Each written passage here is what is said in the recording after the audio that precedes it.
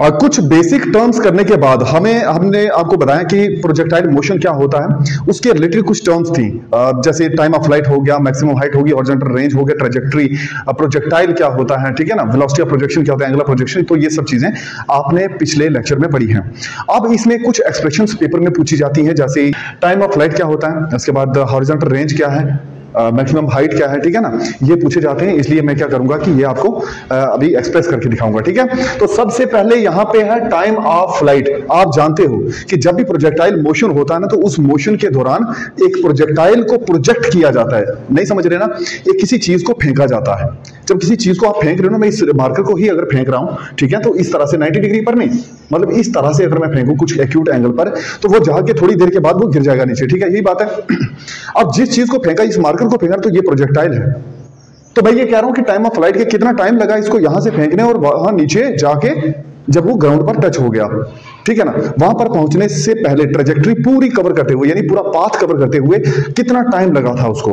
जो टाइम लगा था, उस टाइम को बोलते हैं टाइम ऑफ़ फ़्लाइट आप इसको फ़्लाइट मान के चलो।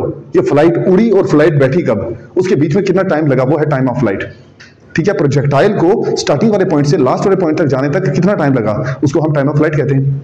ठीक है? आप इक्वेशन ऑफ़ मोशन पढ़ी है आपने, और उसमें आपने फ़र्स्ट इक्वेशन ऑफ़ मोशन देखी थी क्लास नाइन्थ में भी, और अब इलेवंथ में भी आपने मैं पढ़ा चुका हूँ आपको, ठीक है? तो v is equal to u plus a t अब ये देखो, v is to plus at में हम ये टाइम ऑफ़ फ़्लाइट कैसे निकालेंगे? क्योंकि टाइम ऑफ़ फ़्लाइट है तो टाइम तो इसमें है ही है टी बस इसी की वैल्यू निकालनी है और क्या करना है?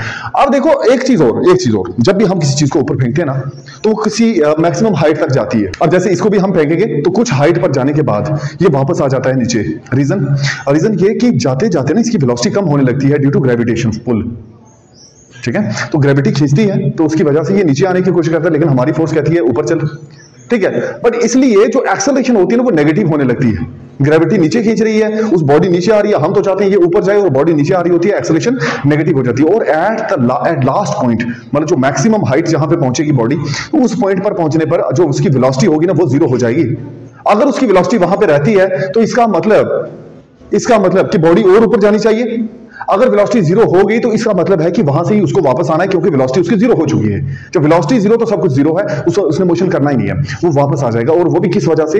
वो ग्रेविटेशनल फोर्स की वजह से नीचे आएगा ठीक है? तो जो एक्सेलेशन हो रही है वो नेगेटिव वाली हो रही है। इसलिए मैं वहाँ पे एक्सेलेशन को और हो रही भी किसकी वजह से है? ग्रेविटी की वजह से। तो उस जो एक्सेलेशन ग्रेविटी की वजह से हो उसको हम बोलते हैं acceleration due to gravity denoted by small g इसकी वैल्यू भी होती है 9.8 मीटर पर सेकंड स्क्वायर बट यहाँ पे वो ज़रूरी नहीं है। आपको देखो वेलोसिटी कितनी होगी? ज़ीरो जब मैक्सिमम हाइट पहुँच जाएगी ना बॉडी तो वेलोसिटी कितनी होगी? ज़ीरो एंड और जो उसकी एक्सेलरेशन होगी माइनस जी मैंने आपको अभी बोला कि एक्सेलरेशन जो होती है, वो नेगेटिव हो जाती है।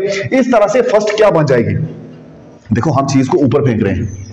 इस ऊपर फेंकने को बोलते हैं, ये वर्टिकल और ये डिस्टेंस जो होता है, ये हॉरिजॉन्टल होता है, ठीक है? तो वर्टिकली जब अपवर्ड चीज़ को फेंकते हो ना तो वहाँ पे उसकी वेलोसिटी ज़ीरो उसकी एक्सेलेरेशन माइनस जी क्योंकि ग्रेविटी की वजह से है, और उसकी जो वर्टिकल कंपोनेंट है, जो वेलोसिटी का वर्टिकल कंपोनेंट बनेगा, दो कंपोनेंट होते हैं, एक अलोंग एक्स एक्सिस एक अलोंग वाई एक्सिस जो वाई एक्सिस वर्टिकल होता है एक्स एक्सिस जो हॉरिजॉन्टल होता है। वाई एक्सिस के अलोंग जो आपका ये कंपोनेंट बनेगा, वो साइन थीटा बनता है यू साइन थीटा बन गया वेलोसिटी कंपोनेंट है, ठीक है? लेकिन जो हॉरिजॉन्टल है यू कॉस थीटा बनेगा, ठीक है?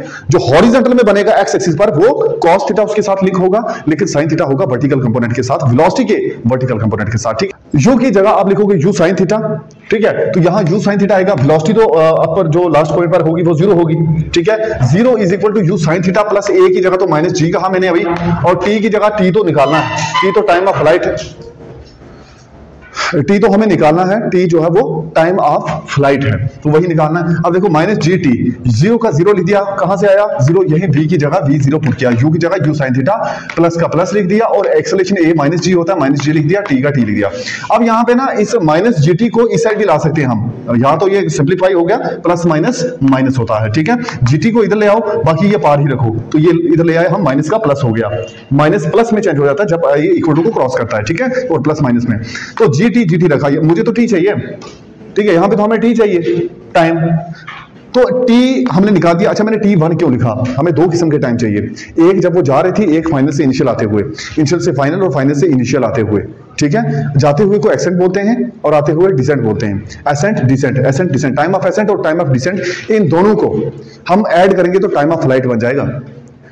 भाई जो चीज़ ऊपर गई है, नीचे भी तो आई है। तो एसेंट और डिसेंट दोनों टाइम होंगे ना तो दोनों को हम ऐड कर देंगे। तो वही मैंने यहाँ पे किया है। एक टाइम बना u sine theta upon g कहाँ से आया? यू साइन थीटा अपान ये जी चला गया, ठीक है? तो u sine theta upon g और यहाँ पे आ गया टी टू जो है, वो भी यू साइन थीटा वही आएगा। भाई, जिस रास्ते गया, उसी रास्ते वापस आ जाना उसने। या जहाँ से भी आया, जिस ग्रेविटी जितनी उसको लगी होगी, उतनी ही नीचे उसको खींच के लाएगी। इक्वलेंट अपोजिट ठीक है? तो सेम सेम होगा। टी वन टाइम भाई देखो, जिस चीज़ को जाने में जितना टाइम लगेगा, आने में उतना ही टाइम लगेगा ना। ठीक है? वेलोसिटी पे डिपेंड करता है वेलोसिटी ऊपर भी ज़ीरो ही हो गई है तो नीचे आने पर वो इनिशियल बन जाएगी, ये फाइनल बन जाएगी। ये कौन सी? जो नीचे आते हुए है उसकी, ठीक है? तो टी वन टी टू दोनों निकल गए, दोनों सेम के सेम है। जब हम टाइम ऑफ़ फ़्लाइट निकालेंगे तो दोनों को ऐड कर देंगे। तो टी वन प्लस टी हो गया टी वन प्लस टी तो ये है प्लस ये है, दोनों को ऐड किया। You sine theta upon ji you sine theta upon जी कितने u sine theta upon g two u sine theta upon g एक ये एक ये तो to you sine theta upon जी आ गया। तो ये होता है टाइम ऑफ़ फ़्लाइट अब आप जानते हैं कि मैक्सिमम हाइट क्या होती है? वो हाइट जहाँ तक किसी प्रोजेक्टाइल को फेंका जाए। लास्ट कहाँ तक पहुंचेगा? वो उसकी मैक्सिमम हाइट है। मैक्सिमम हाइट को आप एच मैक्स से भी डिनोट करते हो एच मैक्सिमम ठीक है? तो ये वो मैक्सिमम हाइट है। अब थर्ड इक्वेशन ऑफ़ मोशन क्या थी? V square minus u square two a s ठीक है? तो वी तो अपर क्या है? ज़ीरो यू क्या है? U sine theta two a s क्या है? एस डिस्टेंस है। डिस्टेंस क्या है यहाँ पे? हाइट है। हाइट कौन सी है? मैक्सिमम है। इसलिए एस को हमने मैक्सिमम हाइट लिख दिया। देखो एस को मैक्सिमम हाइट लिख दिया। यू को यू साइन थीटा लिख दिया। वी को ज़ीरो जैसा पहले करते आ रहे हैं। और एक्सेलेशन जो है वो नेगेटिव में होगी। यहाँ भी वैसे ही किया हमने। ठीक है? तो वी के माइनस यू से सारी वैल्यूज़ पुट करते हैं। देखो वी का ज़ीरो है। तो उसको यहाँ, देखो लेफ़्ट को राइट राइट को लेफ़्ट कर सकते हो ना? ठीक है। अगर ये इसके इक्वल है तो ये इसके भी तो इक्वल है। तो इसलिए टू एस को इधर ले लो वी के माइनस यू के इधर ले लो। तो यहाँ क्योंकि हमें एस चाहिए। हमें क्या चाहिए? हमें एस चाहिए। तो एस मतलब क्या होता है? एस होता है डिस्टेंस डिस्टेंस क्या? हाइट हाइट क्या है? मैक्सिमम हाइट मैक्सिमम हाइट क्या है? यही जो हमने निकालनी है ठीक है? तो यहाँ पे ये होगा एस तो टू ए इसके नीचे चला गया। ठीक है? एस यहाँ पे बचा और टू एच वाई यहाँ चला गया। बीस के माइनस यूज़ किया बीस के माइनस चूज़ किया गया। अब यहाँ पे सिंपली वैल्यू पुट करो। एस की जगह एच मैक्स वी की जगह ज़ीरो यहाँ से यहाँ से सारी वैल्यू पुट कर माइनस का माइनस हो गया। यू होता है यू साइन थीटा लेकिन स्क्वायर है तो दोनों के ऊपर स्क्वायर डाल दो। ठीक है? कितना सिंपल है? वन अपॉन टू ए का वन अपॉन टू ए नहीं ए की जगह माइनस जी है, ये देख लो ए की जगह माइनस जी ठीक है? तो इसी का माइनस जी लिख दिया वी था ज़ीरो माइनस यू ये सारी वैल्यूज़ डाल दी हैं ठीक है? यहाँ से माइनस बाहर निकालो और ज़ीरो स्केयर माइनस ये वाला माइनस भी बाहर निकाल दो, क्योंकि ज़ीरो का तो फ़र्क पड़ता नहीं तो माइनस को बाहर निकाल दो। ये समझ लो कि कुछ है ही नहीं। माइनस बाहर निकाल। लो माइनस बाहर निकालो तो अंदर यूज़ के साइंस के थीटा बचा सिर्फ़, लेकिन ये माइनस भी था, इस माइनस के साथ माइनस कट गया तो बचा यूज़ के साइंस के थीटा अपॉन टू जी तो ये आपके पास आंसर आ गया, यही है मैक्सिमम हाइट अब लास्ट बचा आपके पास कि हॉरिजॉन्टल रेंज क्या होता है। जहाँ से चीज़ को फेंकते हैं ना, और जहाँ पे जाके खत्म वो नीचे आ जाती है ज़मीन पे, ठीक है? उसके बीच में कितना, कितनी दूरी थी? तो उसके बीच में जो डिस्टेंस होगा, उसको आप क्या बोलते हो? उसको बोलते हैं हॉरिजॉन्टल रेंज ठीक है? हम जानते हैं कि डिस्टेंस होता है वेलोसिटी टू टाइम कैसे जानते हैं भाई?